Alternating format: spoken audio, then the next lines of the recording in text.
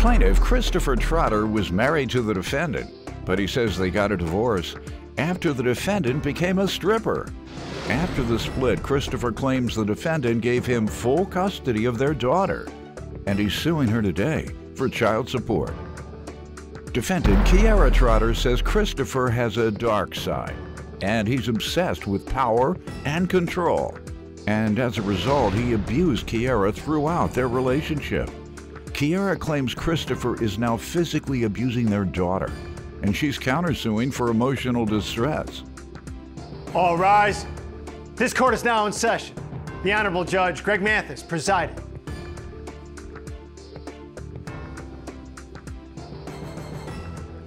You may now be seated.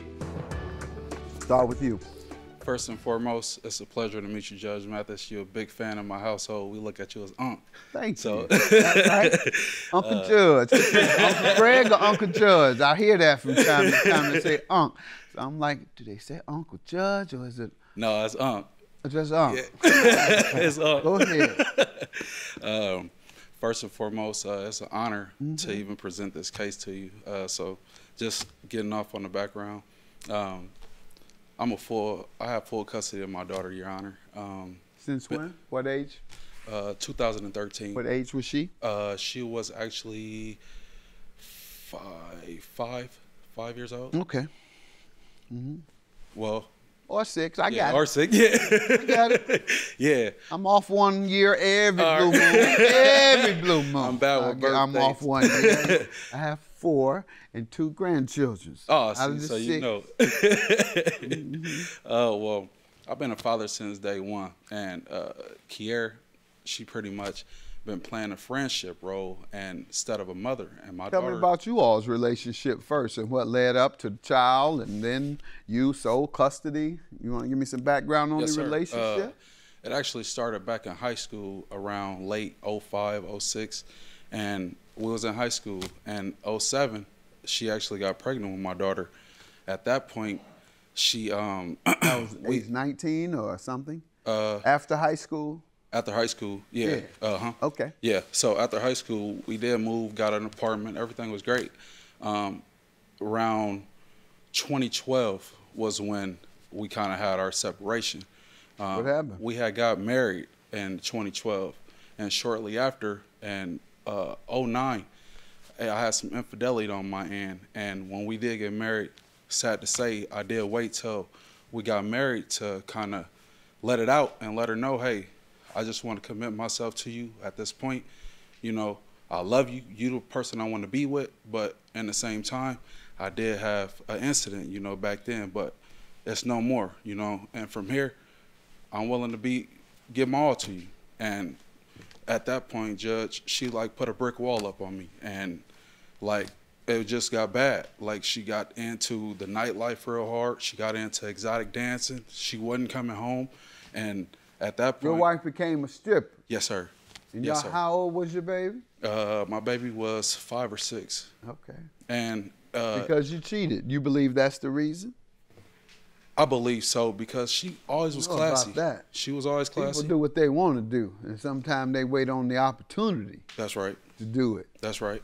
And I always say when women or men, when you retaliate or you say you retaliate, I wouldn't have sex with such and such to get you back, you get aroused by such and such too. Don't forget that part. Right. So if I did nothing wrong, such and such can, you still get aroused. Your hate for me don't make you aroused by somebody else. That's my point. Right. So that always kind of confuses me when a person says they only did it to get you back. Well, I'll try to give her the benefit of the doubt. So she went stripping, and how did all that? What did all that come to? It uh, horribly actually, because uh, in 2012 she actually wrote over a notarized letter giving me full custody of my child at that time. Because You asked, or you all had a fight she- over it? No, it was no fight. She was unstable. She didn't have a house. She was kind of couch hopping at that point, and I wasn't with that. As a father, you know, I, I don't want my daughter just kind of house hopping, you know, and it just was bad things that my daughter was coming back saying to House me. hopping strippers make money. She was broke. But I'm talking she was a about house hopping stripper. as far as like with the pillow, like she kind of resting her head wherever she can lay. That's my point. But if you're making money, you'll get your own apartment. That's As right. strippers do. That's right. strippers I've seen and observation and my understanding is they make pretty good money. Uh, I don't know what kind of money. she Never heard of a stripper couldn't afford her own uh, place. You're in the wrong business. She definitely didn't have her own place. I don't She believe just that. Now getting. I don't place. believe he lying. Stop. Oh, Stop lying on her. did have an incident, you know, back then, but that's no more, you know. And from here, I'm willing to be give my all to you. And at that point, Judge, she like put a brick wall up on me, and like it just got bad. Like she got into the nightlife real hard. She got into exotic dancing. She wasn't coming home, and at that point, Your wife became a stripper. yes, sir.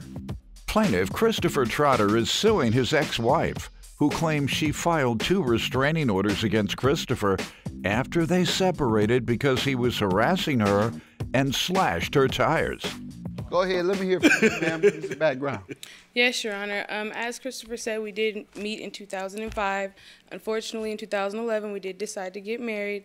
Um, things started out well, as he said. Um, unfortunately, things did progressively get worse over time. How so? About what? What was Um, getting worse? As you can see, Christopher does a great job as presenting himself as a smart and charismatic guy, which he is. But what you're unaware of is that behind closed doors, he does have a dark side about him that is obsessed with power and control. Um, throughout our relationship, he was very controlling and abusive towards me.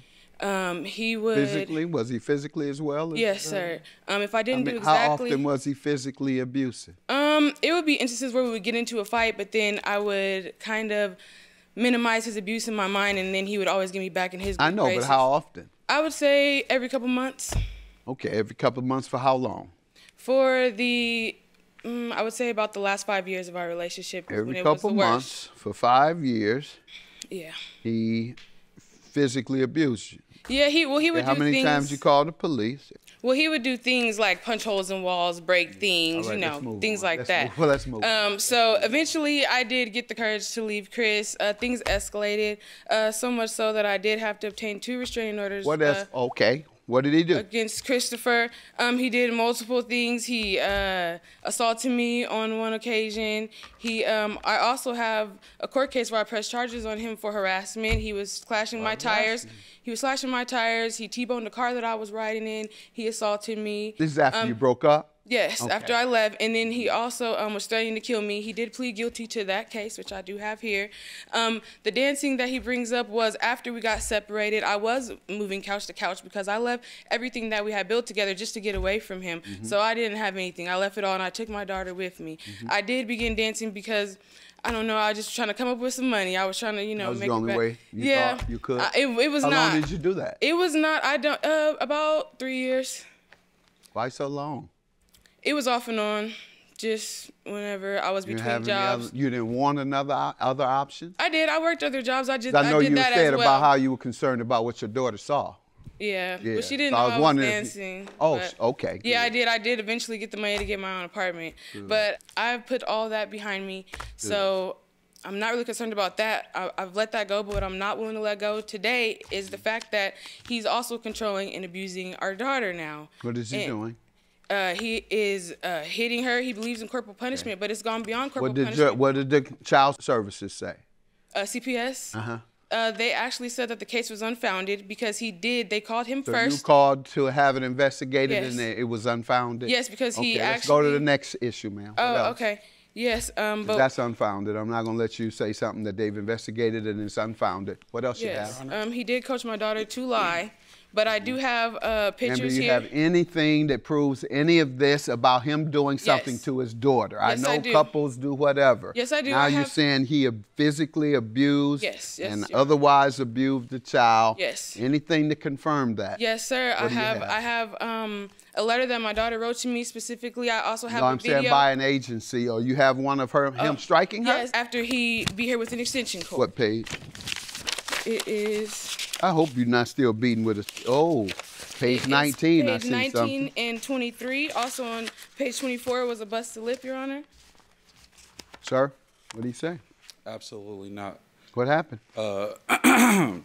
there were some things that was going on as far as uh, my daughter uh, getting an Instagram account. I told her I, I didn't allow the Instagram account. Uh, there was something else that uh, came about my daughter taking pregnancy tests and posting them on TikTok. Whatever. I believe you did it. I'm looking at pictures that you did it. Why didn't you get your daughter back from him?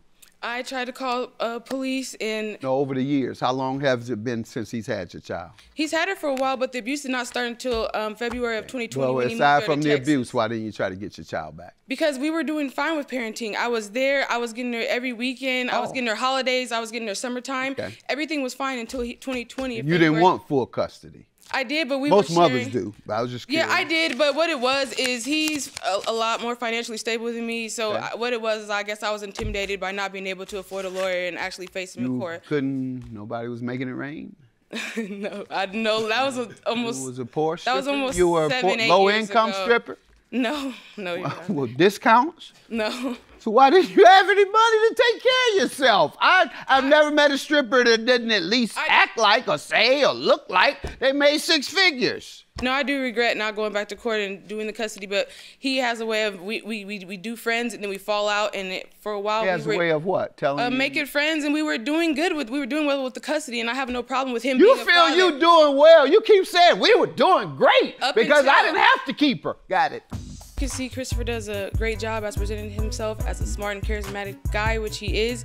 But what you're unaware of is that behind closed doors, he does have a dark side about him that is obsessed with power and control. Um, throughout our relationship, he was very controlling and abusive towards me. Um, he would. Physically, was he physically as well? Yes, sir. Plaintiff Christopher Trotter is suing his ex wife, who claims she filed two restraining orders against Christopher after they separated because he was harassing her and slashed her tires. All right, go ahead, sir. Tell me what you're suing about. Just to back up a little bit, for one, she was a personal banker at a Wells Fargo. She had a good career. Sir, that's, All right, that's all why I'm asking you all right. what you're here for. I know game when I see it and when I hear it. All right, all Let's right. get back to you. I'm suing her for child support, actually, Your Honor. Um, uh, Child since- support? Yes, since 2013, uh, I was granted full custody of my daughter. Got that? court. And you abused her, it appears. Physical abuse. Go ahead. And uh, at Men that, need to understand, ain't no more whooping. The whooping days are gone. You know, this is back in the day. I got a whooping with an extension cord at least twice a week. And the other three days, it was the switch Right. that I had to go and pick myself Right. out of the rose garden. Right. Got rose dents, indentions, and blood, and ironing cord, all that. Yeah, that Times was 60s and 70s and some in the 80s. That's over, sir. You go to that right, correct. All right, so let's get back to the child support issue, the issue at hand. You all had these issues between each other. I'm more concerned with the child. That's She- why I'm referencing this abuse. And I would hope that you have been held accountable for this abuse because it looks like it occurred. And I'm inclined to think that you did it. And she says, the daughter says you did it, and I'm looking at evidence. I got a CPS order that came right after that, uh, and they actually came out. I didn't have no issues, uh, no problems or none of that. All of that was unfounded, sir. And Where the bruises come from then? uh, to be honest with you, I don't know where the bruises. Well, then that's negligence in and of itself. Your child come home with all kind of webs, all kind of lips busted, and everything else, and you say you don't know what happened. How long ago was this? June 3rd, Your Honor. Huh? June 3rd. June 3rd. Yes, sir. And That so almost six months, and you still don't know. Good enough. Tell me about child support so I can get y'all out of here. Y'all don't care uh, about this child. Uh, Go she ahead. was uh, she was ordered to pay fifty dollars a month for child support. Uh, since then, she's made three payments. And, Since when? uh, what year? 2022, just uh, April, May, and June. Three payments, and that was it. Of 2020. 2022. Since Ma'am? two- What do you say?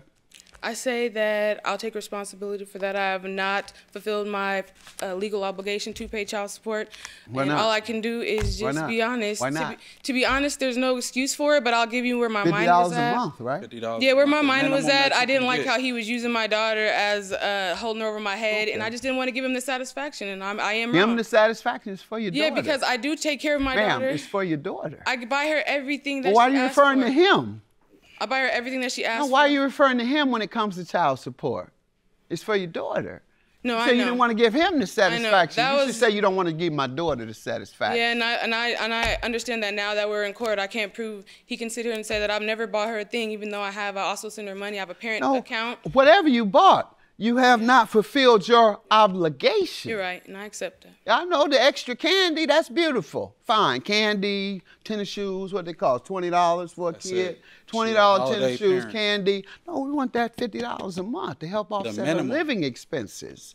Minimum. That's the minimum. I didn't even. I haven't I changed got it. that. Fifty dollars a month is a very low amount, and that's why I say, man, the game stops here. You giving me that counterclaim for five thousand? How does he owe you? Um, I was suing him for a counterclaim for emotional distress because of the abuse that he's doing to my minor child.